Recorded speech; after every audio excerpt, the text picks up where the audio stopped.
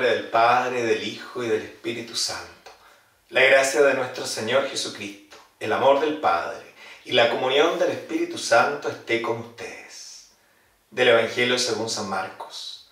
Cuando Jesús volvió de la región de Tiro, pasó por Sidón y fue hacia el mar de Galilea, atravesando el territorio de la Acápolis.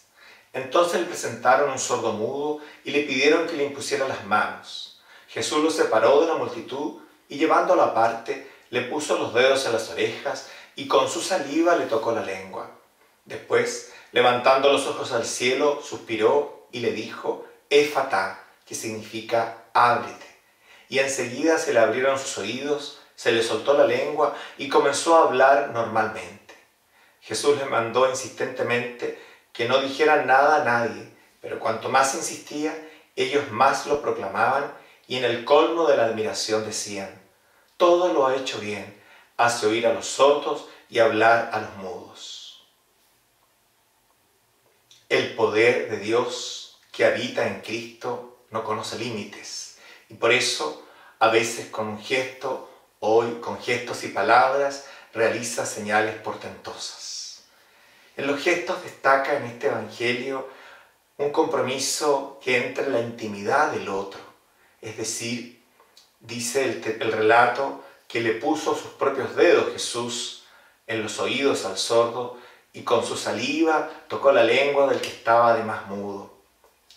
Nosotros a veces evitamos el contacto físico y no me refiero solo a problemas de pandemia, es que somos escrupulosos, es que nos tenemos llenos de prejuicios, generando entre nosotros abismos que nos distancian.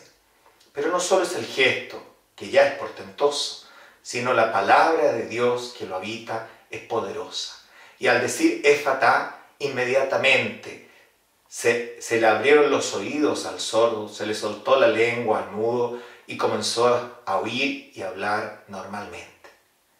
Nunca dudemos de lo que significa acortar distancias, del valor de hacernos más próximos nosotros a Jesús y dejar que Jesús lo haga con nosotros y menos dudemos del poder de su palabra.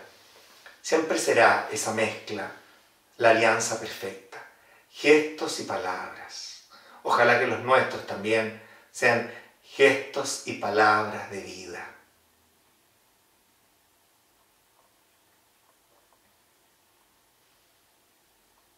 Creo, Jesús mío, que estás real y verdaderamente en el cielo y en el santísimo sacramento del altar te amo por sobre todas las cosas y deseo vivamente recibirte dentro de mi alma. Mas, no pudiéndolo hacer ahora sacramentalmente, ven espiritualmente a mi corazón. Y como si ya te hubiese recibido, te abrazo y me uno del todo a ti. Señor, no permitas que me separe de ti. Que les bendiga Dios Todopoderoso, aquel que es Padre, Hijo y Espíritu Santo.